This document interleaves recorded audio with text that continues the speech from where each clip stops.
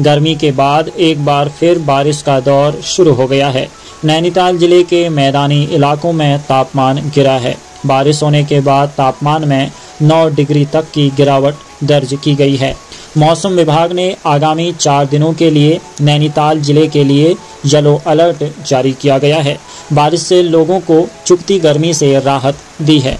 हल्द्वानी में गुरुवार रात से बारिश का दौर शुरू हुआ था। शुक्रवार को भी देर रात बारिश हुई।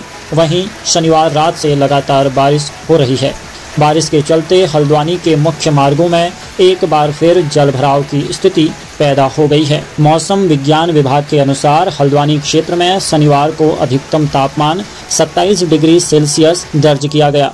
दूसरी ओर उत्तराखंड के देहरादून समेत चार जिलों में आज भारी बारिश का येलो अलर्ट जारी किया गया है।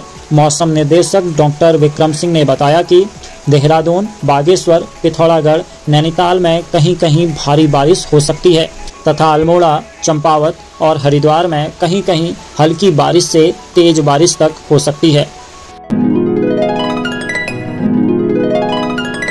पहाड़ी सीआईडी कॉमेडी वीडियो से फ़ेमस हुए next UK zero one vlog जिनकी बहुत सारी CID comedy video Kumaoni style में आ चुकी हैं। तो जल्दी से चैनल को सब्सक्राइब कीजिए। लिंक डिस्क्रिप्शन में दिया गया है।